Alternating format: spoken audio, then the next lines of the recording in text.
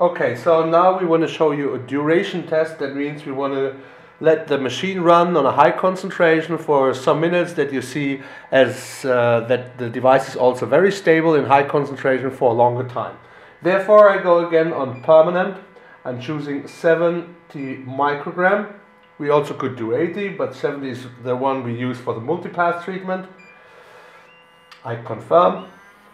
Now the device is creating the 70 microgram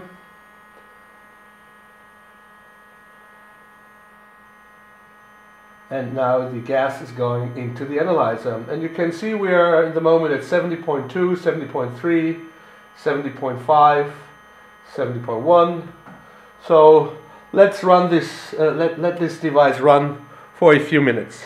Um, in the meantime uh, what I can do is I can try to explain you something about our safety feature.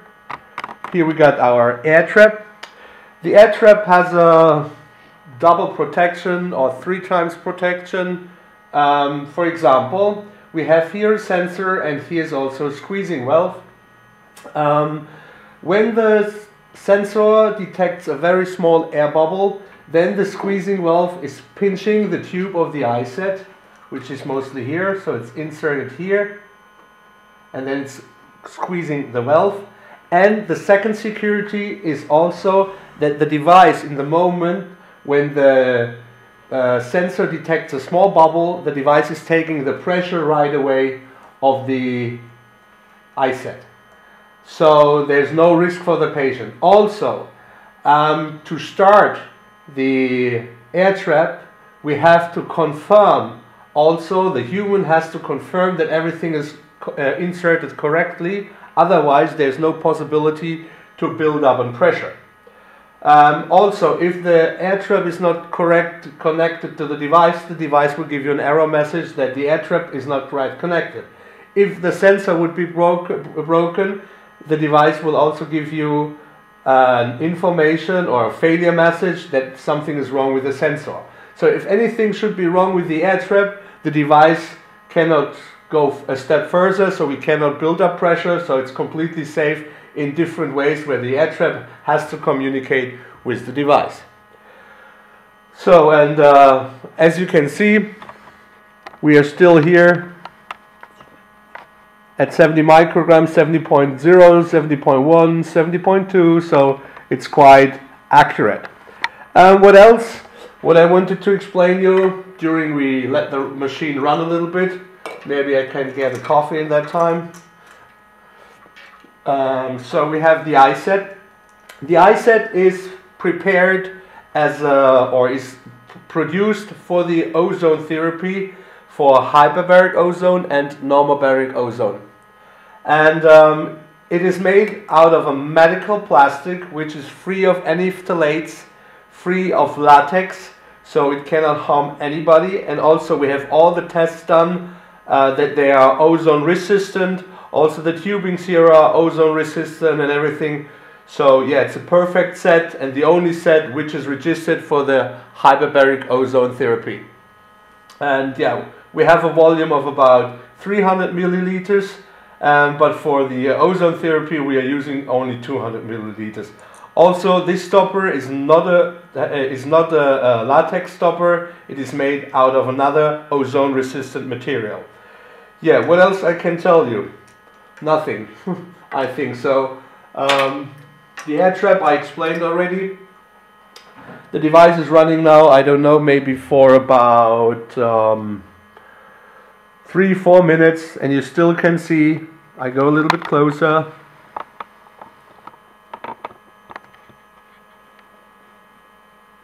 It's still on 70, 70.1, 70, 70.2, 69.9. So the device is running and running and running and running. And I can continue this for a few more minutes without any problems and without dropping the concentration.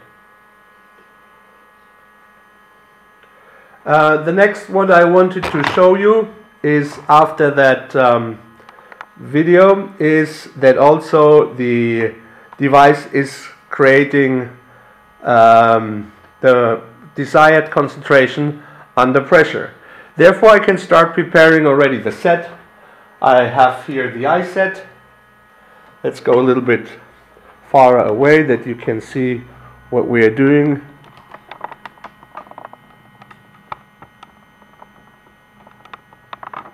So we have the iSet here and uh, I can prepare this already.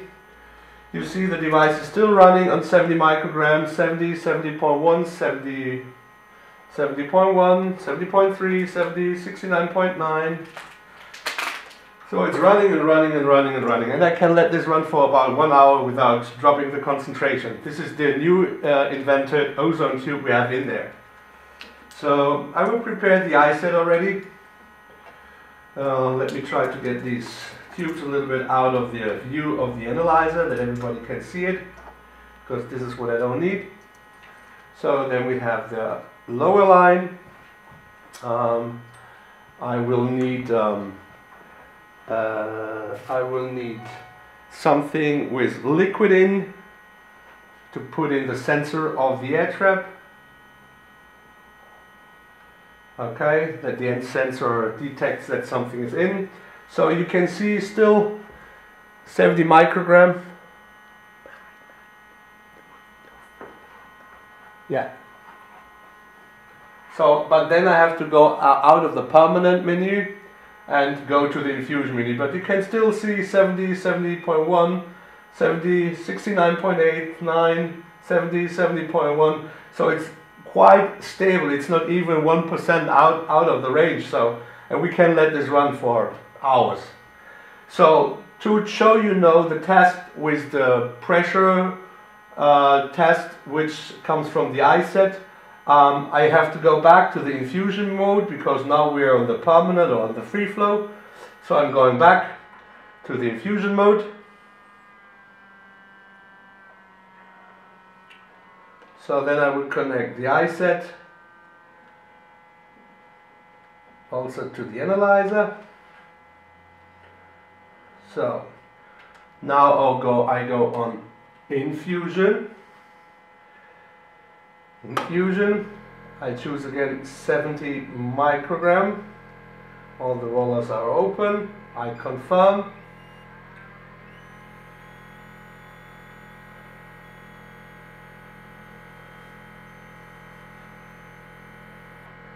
So then I need to prepare the air trap.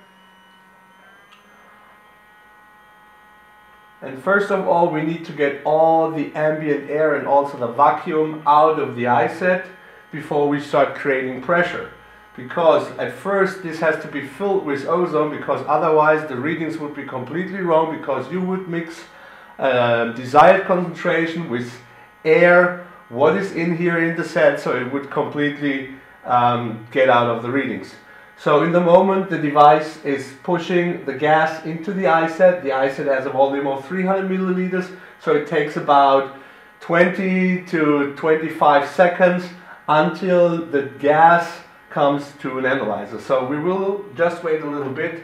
I have here already prepared a syringe with a needle and I will take the gas out of the uh, iSet after I created a pressure. Um, so, what will I do? I don't know if you can see, let me check.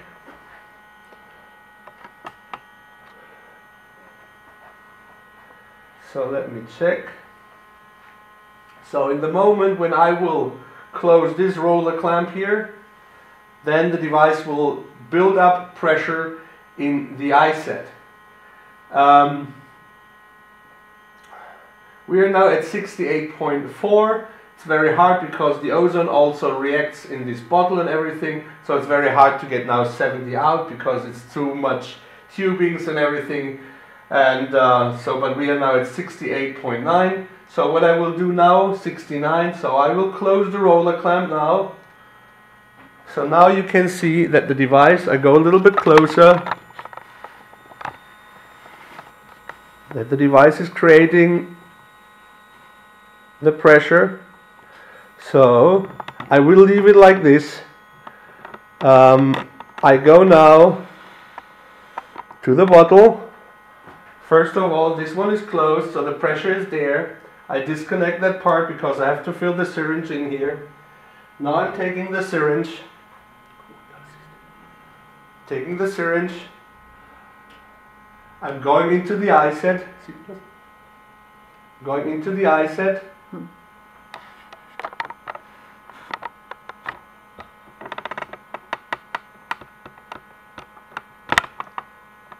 Okay, so now I fill the syringe. So I disconnect it here. I take the gas into the analyzer and we're at 67.3. So let's do that again.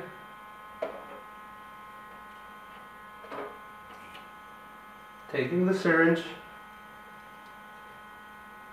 take it here.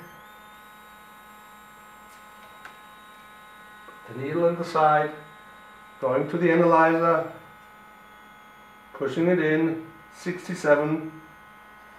So it's quite accurate, completely in the tolerance. So let's do it a third time. And you can also hear when I go in that the device, that the pressure drops and the device is creating again ozone and is rising the pressure again.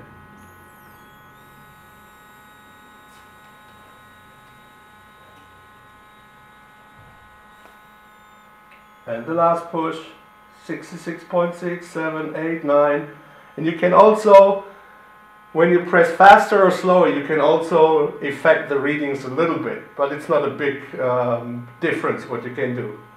So yeah. What else? Should I do it another time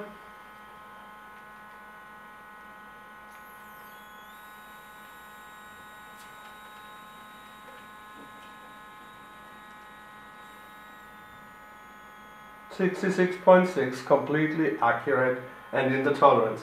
So I took now four syringes with 60 milliliters out of the bottle. So that's 240 milliliters of gas which I took out of the iSet.